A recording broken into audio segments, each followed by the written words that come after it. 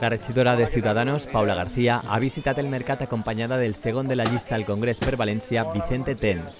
En este acte de campanya van acostar als veïns i venedors la necessitat de votar al seu partit de cara a les eleccions d'este diumenge.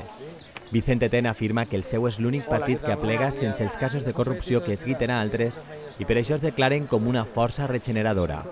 Ciudadanos se presenta como aquel partido que puede realmente regenerar la vida política. Llegamos con las manos limpias y las manos libres.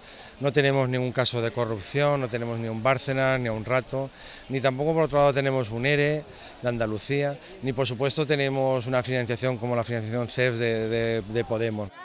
Ciudadanos defensa la necessitat que esta vegada sí que es puga constituir un govern després de les eleccions i en aquest aspecte asseguren ser l'únic partit capaç d'arribar a consensos amb PP i PSOE per formar-lo.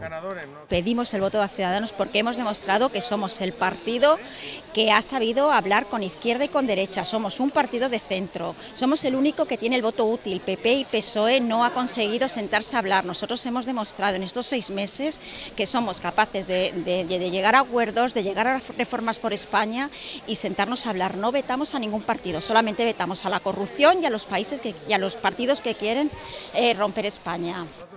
Assegura que calen polítiques que ajuden als autònoms i les famílies i que això és el que ells poden oferir.